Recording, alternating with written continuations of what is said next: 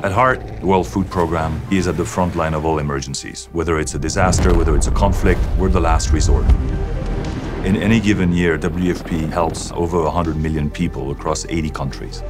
Because of our unique supply chain capabilities, we're the one that are deployed and bring life-saving supplies and food to all the people in need. Where there's no infrastructure, there's no connectivity, reaching some of the most challenging places in the world.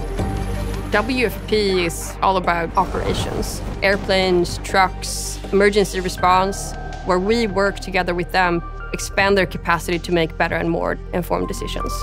We are still operating in crisis mode, and then COVID hit on top of it all. Because of the pandemic, next year we expect to serve almost 140 million people. This is a massive increase to what we already had. Our funding needs to grow, and we only have secured about half of that. We have a saying internally that says nothing stands between WFP and a hungry child. That's where we turn to the power of data.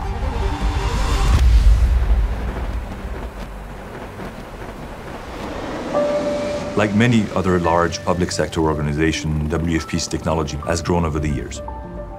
We have people who are suffering where the fight between life and death comes to a very close decision. How do we make sure that the colleagues on the front line get access to better data at their fingertips? That's why we partner with Palantir, building a system that we call DOTS to help give us a better operational picture and really empower the entire organization from HQ but also in the field to have the right data point at the right time to make the right decision. Is putting the opportunity in the hands of those who deliver in the most remote corners of the world. This is where I need the food and when I need it. Just get it done.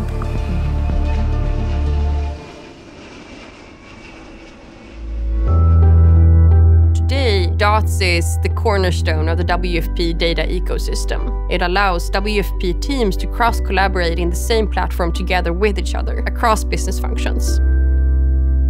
One of the first workflows we've developed in DOTS is called the Transporter Evaluation Score. Every day, WFP relies on a very large network of transporters, companies that show up with trucks, load up the commodity, rice or maize or beans, and bring it from point A to point B. Let's say that you're a logistics officer working out of Somalia and you have a shipment coming in tomorrow. You need to know exactly how this transporter has been performing in the past. Do they show up on time? Do they lose food? Do they deliver less than they said they would? Doing this before DOTS was a very, very complicated exercise. This is something that would take days to extract. Today, all of that information is integrated, and now it takes a couple of seconds, tops. This is an example of one of the type of insights we're able to get. With DOTS, WFP has this operational knowledge asset. And every time a field officer solves a problem in DOTS, that asset gets more and more refined.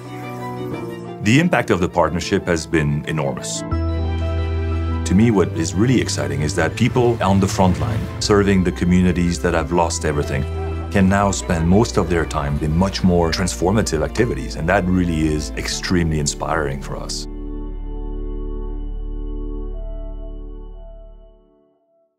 Doctors and ERs coast to coast, what do they have in stock? Thousands of frontline doctors are still not getting the equipment they need. Can the medical equipment supply chain be made to function? During the COVID 19 pandemic, the World Food Programme was asked to support the wider humanitarian community under something known as the Global Humanitarian Response Plan.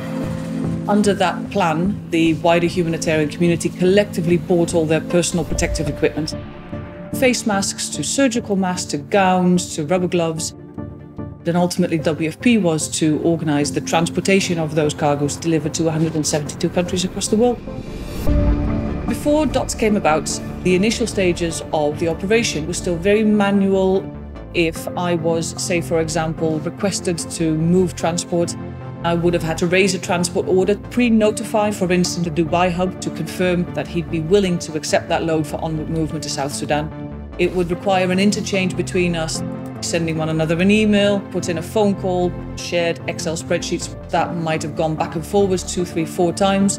And that person in Dubai would not know what to expect unless I kept him up to date. These were ultimately our Achilles heel. We realized that there was a space here for us to help.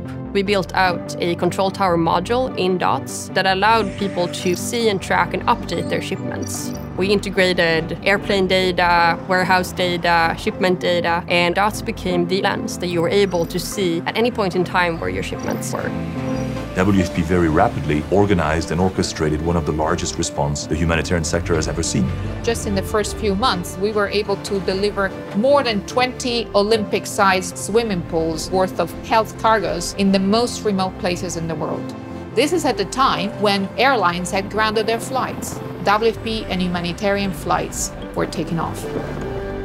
If a border was closed, if an airport was no longer available, if a price would go up, DOTS stepped up, and all of that data was being integrated and really helped orchestrate not only our own response, but also the response of a network of more than 70 organizations. I think in the humanitarian sector, you always feel like a small cog in a big machine. But this time it really felt that you were in the heart of the machine. You were in a place where you are a pivotal point in that supply chain, and a lot of responsibility rests on your shoulders. To even just get one single load out every single day could reach more beneficiaries and save more lives.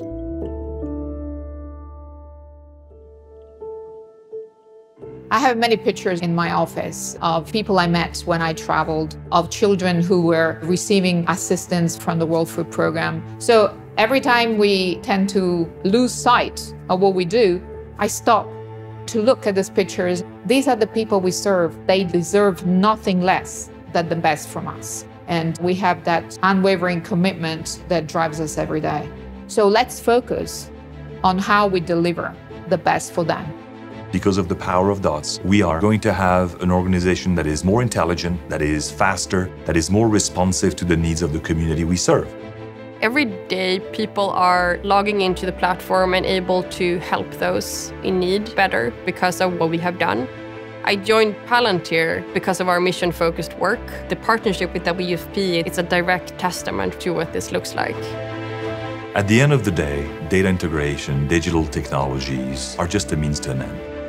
And the end for us is then people who've lost everything have a lifeline to get back on their feet, that communities are rebuilt, that there is resilience, that we have a world where everybody can have access to health and education and become a thriving member of society.